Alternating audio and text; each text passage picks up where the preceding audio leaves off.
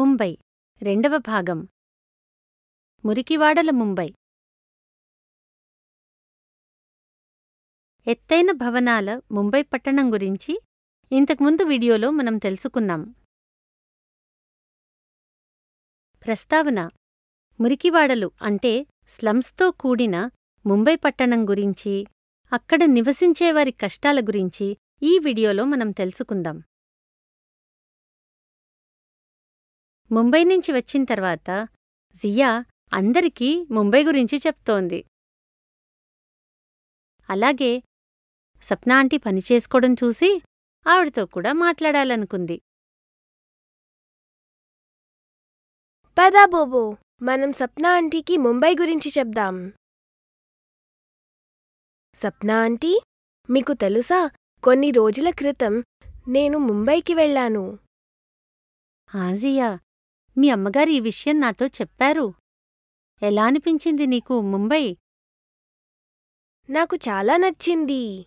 మామయ్య వాళ్ళ ఇల్లు ఎత్తైన భవంతిపై ఉంది. అక్కడ్నించి మొత్తం నగరం అందంగా కనిపించింది.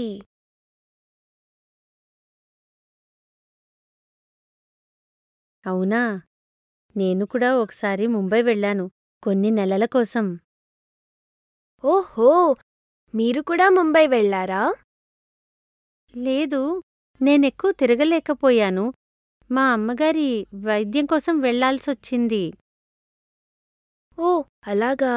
నేను నీలా కాకుండా వేరే రకమైన ముంబై చూసా జియా అవునా? ఎలాంటి ముంబై ఆంటీ? నేను మా బాబాయ్ వాళ్ళ అబ్బాయి అంటే మా తమ్ముడింట్లో ఉన్నా జియా. వాళ్ళు ఓ మురికివాడలో ఉండేవారు. ఓ అయితే మురికివాడ ఎలా ఉంది ఆంటీ? మురికివాడలో ఇళ్ళు చాలా చిన్న చిన్నగా ఉంటాయి జియా.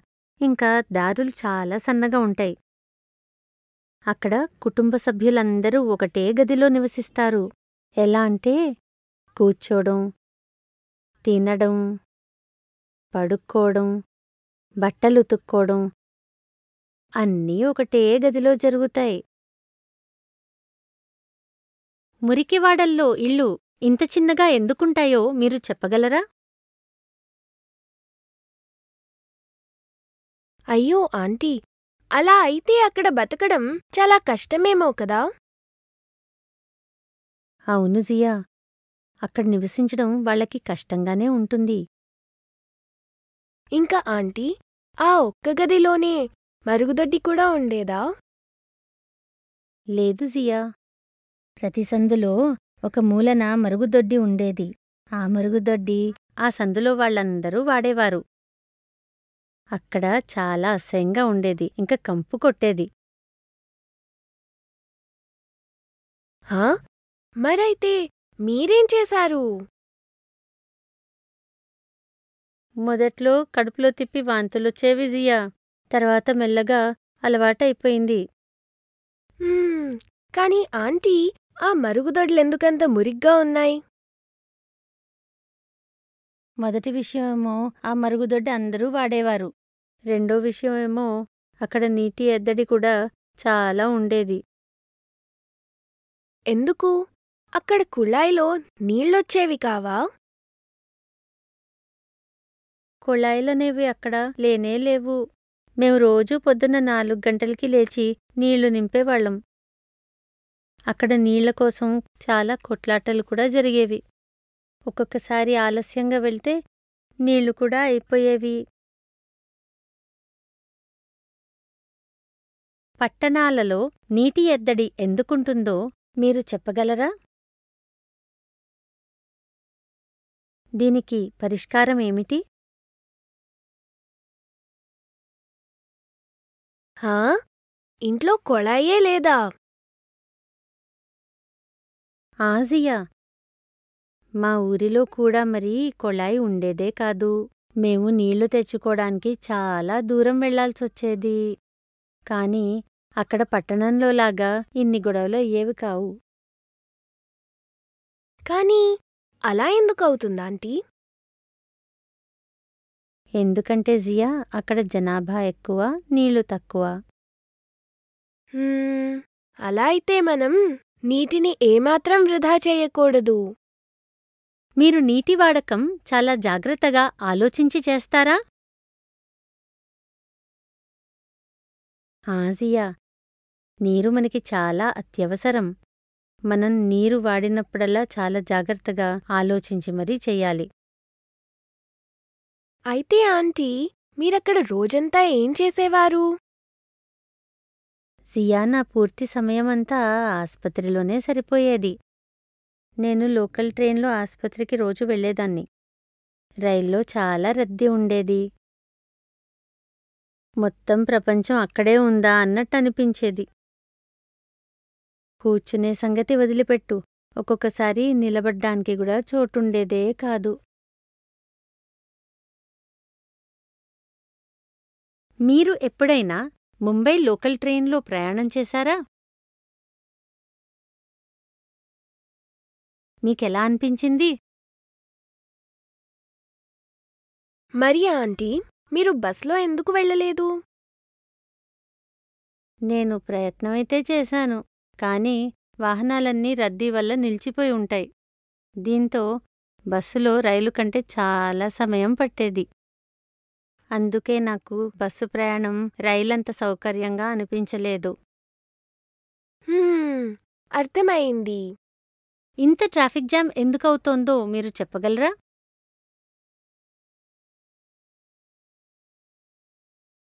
మీ పట్టణంలో గాని ఊరులో గాని ట్రాఫిక్ జామ్ అవుతుందా? వాహనాల రద్దీ తగ్గించడానికి మీరేమైనా ఉపాయం చెప్పగలరా? అయితే ఆంటీ మీరు రోజూ ఆస్పత్రికి వెళ్తున్నప్పుడు ముంబై యొక్క అందమైన ప్రదేశాలను చూసి మీకు తిరగాలని అనిపించలేదా?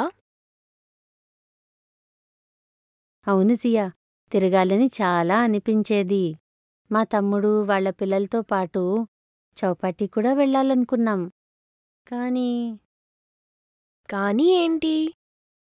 అప్పుడే ఒక్కసారిగా మురికివాడలో ఉండే వాళ్ళందరికీ ఇళ్ళు వదిలేయాలని నోటీస్ వచ్చింది. మా తమ్ముడు చాలా ఇరకాటంలో పడ్డాడు. అందుకే వాడితో చౌపాటి గురించి ప్రస్తావించలేదు. కానీ వాళ్ళు అందరూ మురికివాడ ఎందుకు వదిలేయాల్సొచ్చింది ఎందుకంటే మురికివాడ కూలకొట్టి హోటల్ కట్టాలనుకున్నారు. మరైతే ఆ జనాలు ఎక్కడుండాలి? మురికివాడల్లో వాళ్ళు ఇల్లు కట్టుకోవడానికి ఇంకో వేరే చోటు ఇచ్చారు. అది మా తమ్ముడు పనిచేసే చోటు నుంచి చాలా దూరం. అక్కడికి ఏ బస్సు వెళ్ళేది కాదు. అక్కడ మంచినీళ్ళు ఇంకా విద్యుత్ సమస్య కూడా ఉండేది. ప్రజల ఇల్లు కొల్లగొట్టి హోటల్ నిర్మించడం గురించి మీ అభిప్రాయం ఏంటి? ఇంకా మంచినీళ్ళు విద్యుత్ సరఫరా లేని చోటికి వాళ్ళని వెళ్ళమనడం సబబేనా? ఇదంతా విని జియా చాలా బాధపడింది. నువ్వు బాధపడకు జియా. అక్కడి ప్రజలు ఈ సమస్య పరిష్కారం కోసం ప్రయత్నిస్తున్నారు. నిజమా ఆంటీ? అవును జియా. మరి ఈ విషయం చెప్పు. నువ్వు ముంబై అంతా తిరిగావు. కానీ ముంబైలో నీకు అన్నిటికంటే ఎక్కువ ఏం నచ్చింది? చెప్పు. అన్నిటికంటే ముందు చౌపాటి. ఇంకా వడాపావ్. అవునా? నాక్కూడా వడాపావ్ చాలా ఇష్టం. మరి నీకిప్పుడు వడాపావ్ తినాలనుందా? ఆ అవును. మీకు తయారు చేయడం వచ్చా? వచ్చు జియా. అరే బోబో ఇవాళ తినడానికి వడాపావ్ దొరుకుతుంది. చూస్తూ ఉండు నీక్కూడా వడాపావ్ చాలా నచ్చుతుంది. సరే జియా నేను వడాపావ్ చేస్తాను. నువ్వెళ్ళి చక్కగా నీ హోంవర్క్ చేసేసుకో సరేనా? సరే ఆంటీ. సప్నా ఆంటీ వడాపావ్ చేయడంలో లీనమైపోయారు. జియా తన హోంవర్క్ చేయడంలో మునిగిపోయింది. బొబ్బో తన దగ్గరే కూచున్నాడు.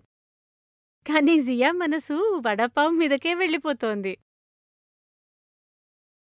సారాంశం. మురికివాడలు అంటే స్లమ్స్తో కూడిన ముంబై పట్టణం గురించి అక్కడ నివసించేవారి కష్టాల గురించి ఈ వీడియోలో మనం తెలుసుకున్నాం.